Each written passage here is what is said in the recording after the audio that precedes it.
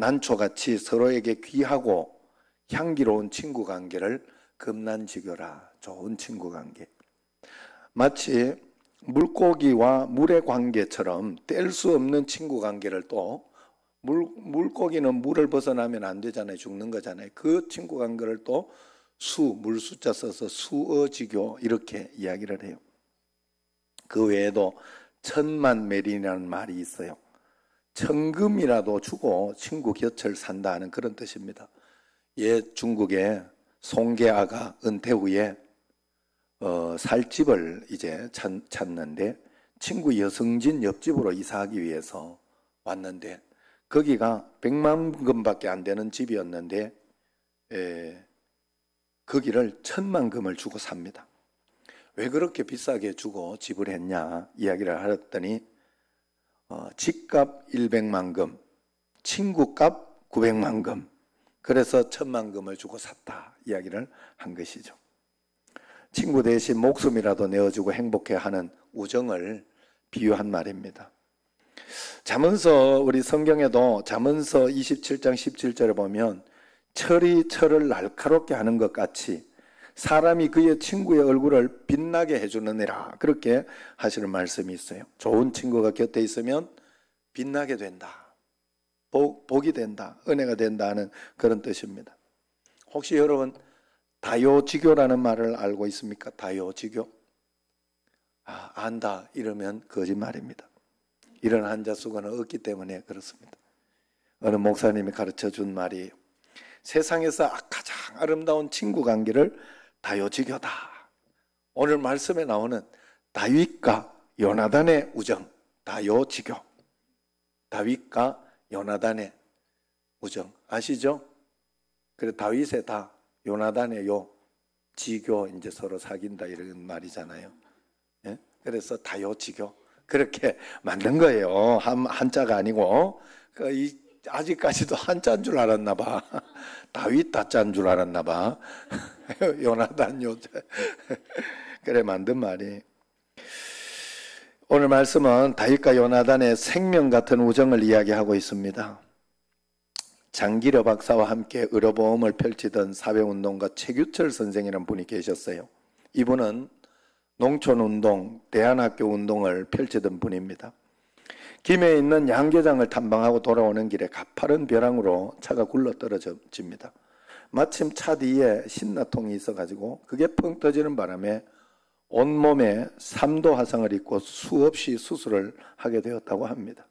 자신의 몸은 온몸이 불에 타서 떼어낼 살이 더 이상 없었다고 해요. 보통 이렇게 살 타거나 부족한 거 있으면 엉덩이 살을 내가지고 막 하기도 하고 그렇게도 합니다. 수술을. 그러나 그때 그때마다 아내가 자기 엉덩이 살을 잘라서 수술을 해, 해줬다고 그래요.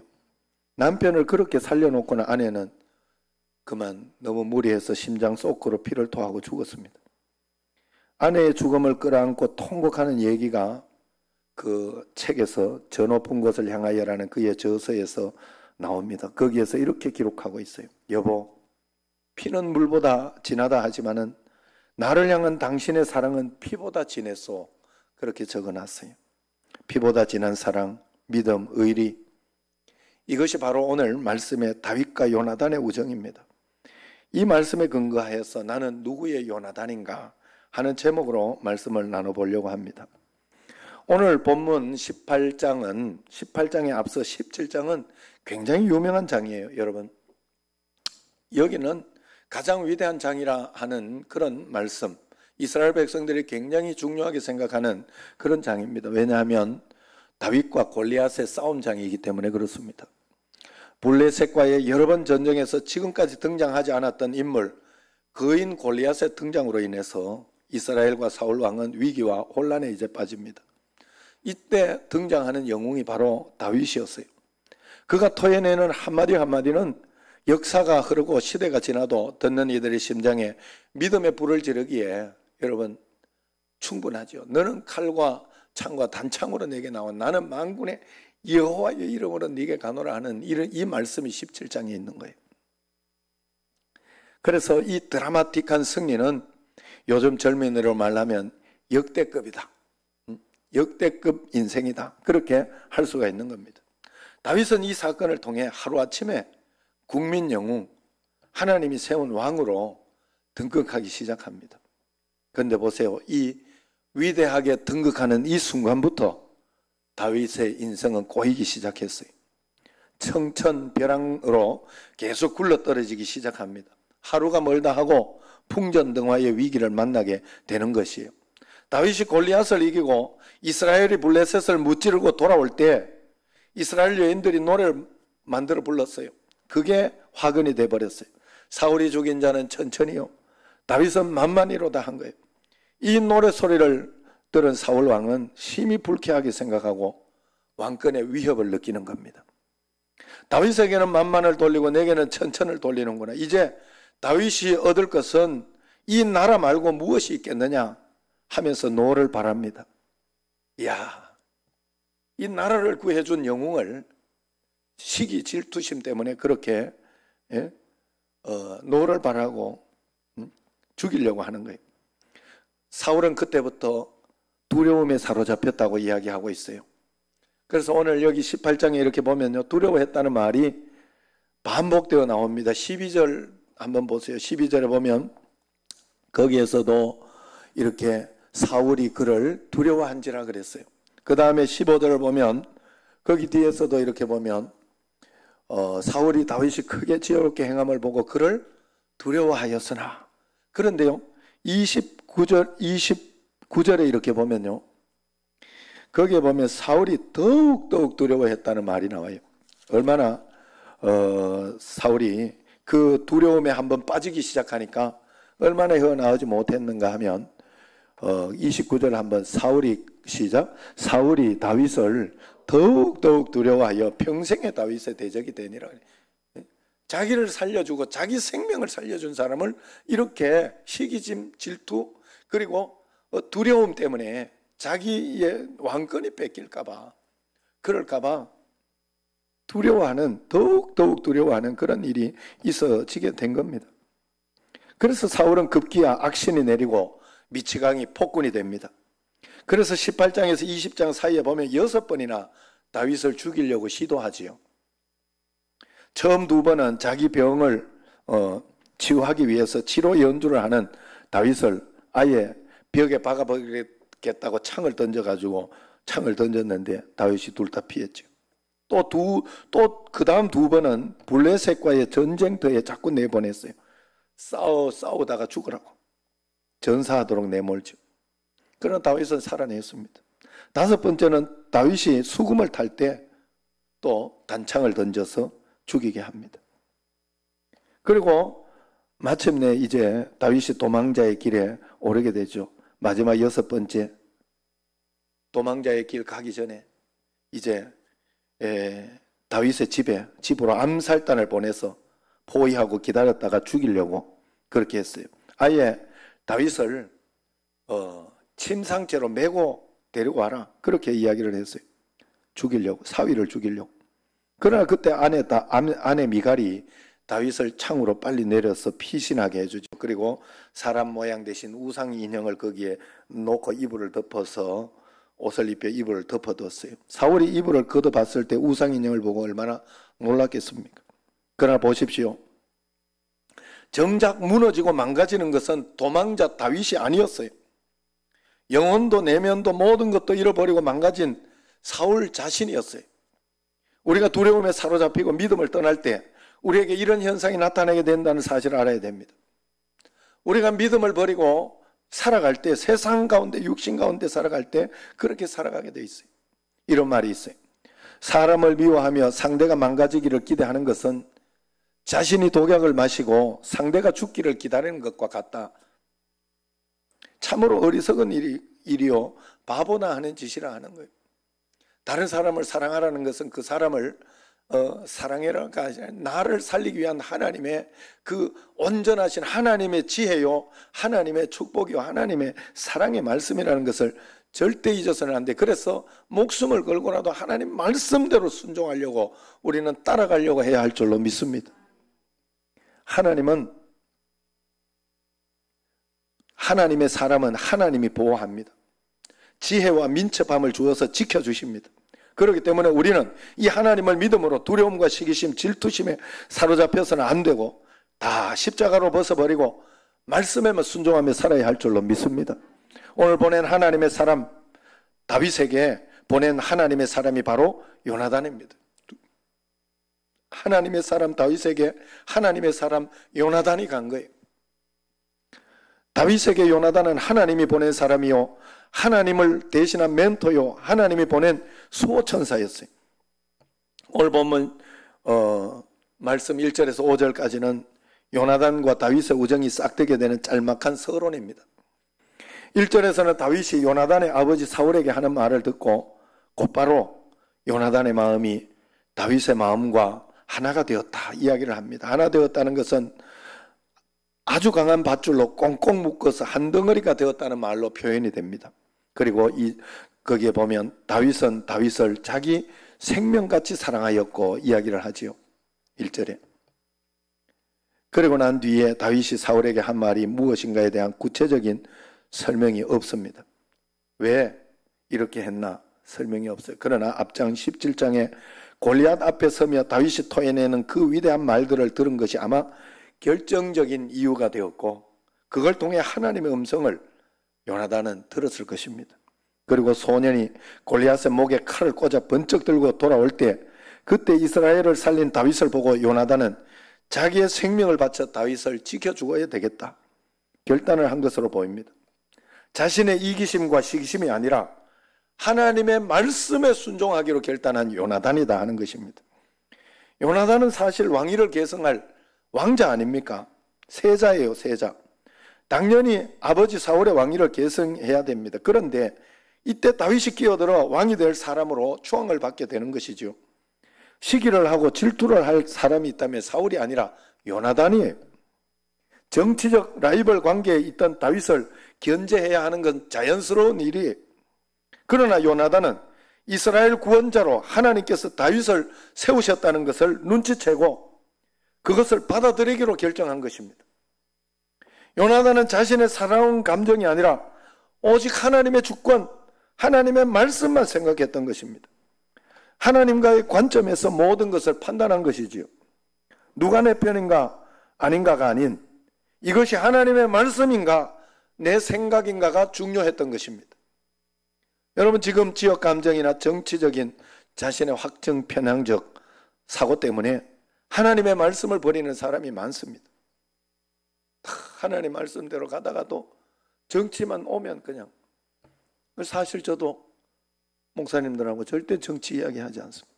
축구하는 목사님들. 뭔가 좀 칭찬한다 이렇게 싶으면 이렇게 보면 그쪽의 정치 때문에 정치가 하나님을 이겨버려. 말씀을 이겨버려. 그러면 안 돼요, 여러분. 어떤 경우와, 경우에라도 우리는 하나님의 말씀에 순종해야 돼. 여기에 시기 질투가 있을 수 없어요. 오직 하나님의 말씀에 순종한 사람이 바로 오늘 요나단, 다윗보다 위대한 인생 요나단이었어요. 인격자 중에 인격자요. 신앙인 중에 신앙인이요. 영웅 중에 영웅이 요나단입니다. 성경에서 요나단이 없었으면 다윗도 없었어요. 이어지는 18장 3절에 다윗은 다시 요나단은 다윗을 생명같이 사랑했다는 말씀이 나오죠. 요나단이 다윗을 생명같이 사랑하여 1절에도 나오고 3절에도 두 번째 지금 나오고 더불어 언약을 맺었으며 그래 어떤 언약을 맺었느냐 이야기는 하지 않고 있어요. 그러나 이어지는 4절 말씀이 있습니다. 같이 한번 4절 시작. 요나단이 자기가 입었던 겉옷을 벗어 다윗에게 주었고 자기의 군복과 칼과 활과 띠도 그리하였더라. 한 나라의 왕자가 아무리 친한 친구라 해도 세 장 옷을 물려주지는 않습니다. 그러나 요나단은 왕자가 입고 있던 옷과 모든 무기를 다윗에게 넘겨주었어요. 너가 하나님이 선택한 왕이 될 것이라는 상징입니다. 그래서 5절에 보면 같이 시작. 다윗이 다윗은 사울이 보내는 곳마다 가서 지혜롭게 행하며 사울이 그를 군대의 장으로 삼았더니 온 백성이 합당히 여겼고 사울의 신하들도 합당히 여겼더라. 가는 곳마다 이게 이 짧은 한마디에 굉장히 많은 시간이 들어있는 거예요. 여러분, 성경은 그런 거예요. 창세기부터 이렇게 있는 몇 천 년의 역사가 여기에 들어있는 거예요. 그냥 한마디를 그걸로 성경에서 아이고 이게 맞니? 이렇게 보면 안 된다는 거예요. 그 속에 있는 세월, 그 속에 있는 영적인 하나님의 말씀을 우리가 볼 수 있어야 돼요. 그래서 거기에서 사울의 참모 총장이 되어서 가는 곳마다 승전보를 보내왔다는 거예요, 다윗이.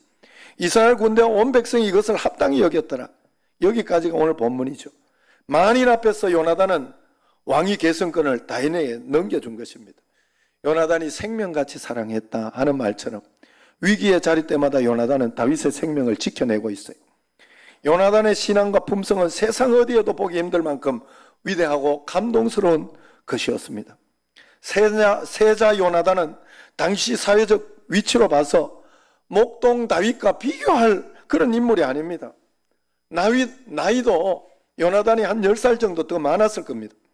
이런 다윗과 언약을 맺어서 친구가 되고 영원한 멘토가 되어주고 후원자가 되어주고 있는 것이에요. 그리고 요나단은 다윗을 보호하고 끊임없이 격려해주고 있어요. 무조건 사랑하고 무조건 그를 지켜냅니다. 다윗을 변호하기 위해 금식하며 통곡하기도 했어요. 아버지에게 울며 매달려 다윗이 뭔 잘못을 했습니까? 이렇게 선한 다윗을 했지만 하나님이 기뻐하지 않습니다. 아버지 그렇게 건면해요. 그래도 안 되자 마지막에는 요나단이 다윗에게 때를 기다리자 잠깐 어디 갔다 와라 하고 다윗을 망명길 광야로 보냅니다. 이때부터 10년 세월 동안 다윗은 광야를 헤매게 된 것이죠. 이때 마지막 이별의 장면을 사무엘상 20장 41절 42절에 이렇게 기록하죠. 뒤에 20장 41절 42절 보세요. 같이 한번 읽어 봅시다. 시작. 아이가 감에 못 찾았어요? 20장 그 뒤에 41절 42절 아이가 감에 다윗이 곧 바위 남쪽에서 일어나서 땅에 엎드려 세 번 절한 후에 서로 입 맞추고 같이 울되 다윗이 더욱 심하더니 요나단이 다윗에게 이르되 평안히 가라 우리 두 사람이 여호와의 이름으로 맹세하여 이르기를 여호와께서 영원히 너와 나 사이에 계시고 내 자손과 내 자손 사이에 계시리라 하였느니라 하니 다윗은 일어나 떠나고 요나단은 성읍으로 들어가니라 서로 어떤 언약을 맺었냐?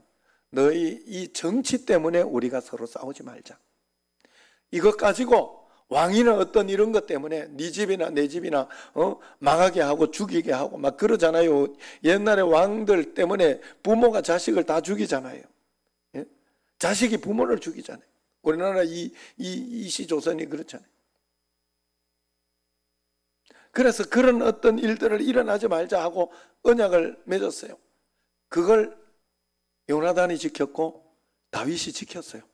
나중에 그래서 무비보세 그 아들을 자기 아들과 하고 똑같이 사실 반역자라 할 수 있고 사울의 자손인데 그 요나단의 아들을 같이 식탁에 앉아서 밥을 먹게 하고 사울이 가졌던 그 어, 어, 조, 조부가 가졌던 그 모든 재산을 그 무비보셋에게 다 주잖아요. 다윗이 그렇게 지켜주잖아요.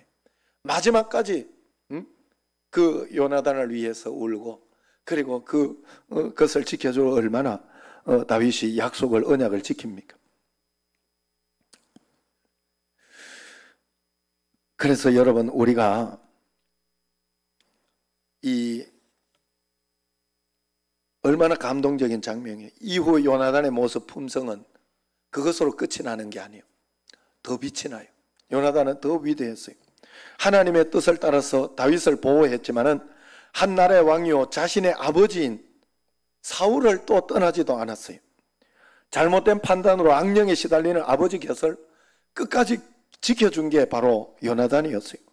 아들로서의 도리도 다 한 거예요. 요나단은 끝까지 아버지 곁을 지키다가 사무엘상 마지막 장이 사울이 죽는 것으로 끝나잖아요. 그래서 아버지 사울과 함께 장렬히 전사하고 맙니다.